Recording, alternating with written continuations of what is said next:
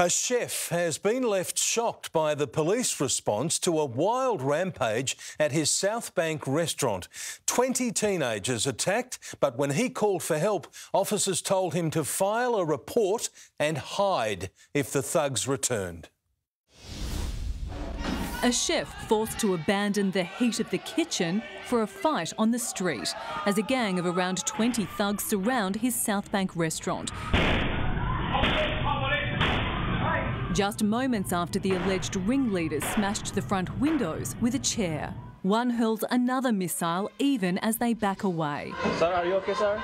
The chef, bleeding after being hit from behind with a beer bottle, is helped back inside by a customer. Oh my god.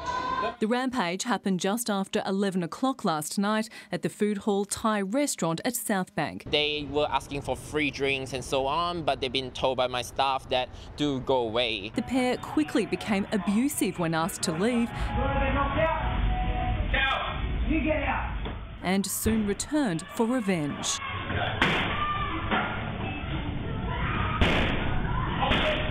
And they create all these damages and those damages over there. Customers and staff reported the attack to police overnight but were told there were no officers available to attend.